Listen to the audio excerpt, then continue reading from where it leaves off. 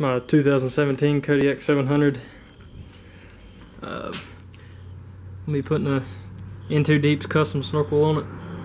There it is right out of the box with everything laid out. They pack everything with newspaper. I don't know why, but um, first thing I'm gonna do is do my intake because I got my clutch apart now for the EPI clutch kit. You can see the last video for that. Uh, it's right over there. I'm waiting on the gasket to come in. So only thing I'm able to do today is just the uh, the intake because I can't put none of the belt on except that part because uh, the whole belt housing's off of it. So I would recommend go ahead and get a new air filter while you're at it, being that you're gonna have to seal your air box up. And uh,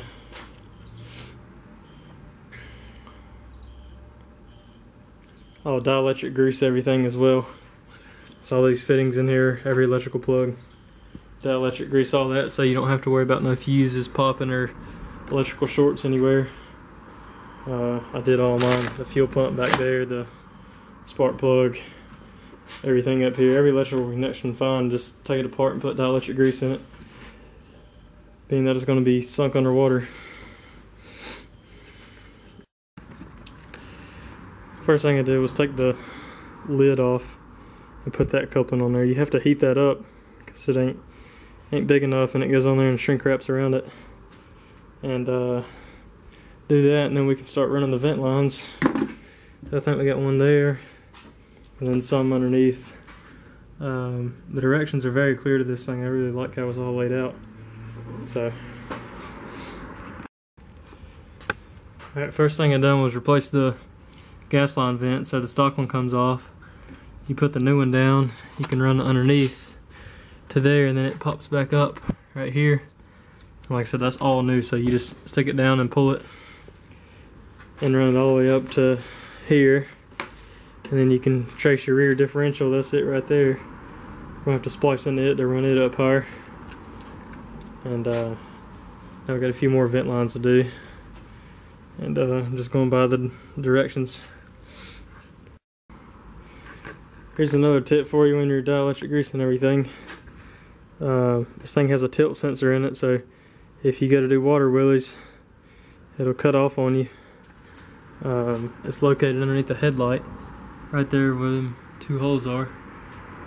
Uh, what you're gonna do is take it off, put a dab of super glue on both sides, or some kind of glue to keep it from tilting like that. That'll save you a lot of headache when you get down in the water and go back and it cuts off on you. Uh, you don't want that happening, so. Got the intake in. Used a hole saw bit to cut into the dry storage. Just kind of have to eyeball it and mock it up. There's a rubber bushing inside of there where the other one attaches to. I wouldn't tighten up anything yet until you get it all situated. And in the front of the airbox, you uh, drill another hole and then it comes out. And then you see I got all my vent lines ran. They all just dead end up here, so you just splice on to all the loose wires or hoses you find up there. This one goes like that. So that plate goes on there and you can see how it's lined up there. So therefore I'm gonna take all this back out and tighten the couplings down and probably silicone the dry box. And then uh, after that we can start working on the belt. Um, I got the air box on in as I showed in the previous clip. So I got a silicone it. And then um, I got the old belt intake or exhaust, I don't know which one that is. Um, mounted in right there, running up. And that Fernco mounts right below that bracket and you can tighten both of those down. So only one I'm missing is the uh, other one that goes on the belt and I can't do anything until I get my clutch back together. Uh, waiting on that internal uh, primary clutch gasket. And then uh, once we get that on, we can run the other one. Um, I'm about to take this back off so I can trim out the piece that goes right there in front of it. Uh, gotta drill out the hole so it'll slide down on top of it. But other than that, I mean, the kit's perfect. It comes with everything. Everything's the perfect length. I mean, as you can see there, it comes up perfect and then turn a little bit to get it straight after it's all said and done but um, know all the vent vent tubes run up through there, and you can kind of figure out what you want to do with them once they're up there. Tie them in a loop or tie them off to the snorkel. So I'm gonna start sealing everything up now and and uh, cutting the holes in the plastic piece so I can slide that back down in there and it should be good. Alright guys, update video. See all the vent lines. I gotta figure out what I'm gonna do with them. But uh, I got all the risers in. This kit actually comes with bolts so you can line them all up. So just make sure the um, your end snorkel don't have a hole in it and this side don't have a hole. The middle one's got to have two holes on both sides so the, the bolts will go through there and connect. And then your bracket down here, very nice. It's got a little U-hook on it. And then uh, there's your couplings. So the one for your intake is going to be the full coupling and the others are reducers because it has that little 90 degree piece that goes up in there. As you can see right there, 290 degrees and goes up. Still waiting to get my clutch back together for that gasket, so um, this one's just gonna dangle for now and then you got that one in there. Um, so I'm just gonna clean up the vent lines and Gotta wait till my uh, clutch gasket gets here to put everything back together. Then you can see the intake. Still hadn't sealed that up. It goes down through there.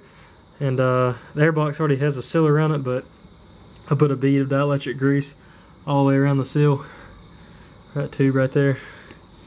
Um, to keep it from sealed and then did the same thing right there just to take extra precaution. Didn't need it, but um, figured I'd put it on there anyway. So yeah, this kit is perfect. Though. It comes with everything. Um, and as far as cutting the holes there, I just kind of guessed that, and uh, it turned out pretty good. Right there on both sides. So, all right, I got the vent lines done.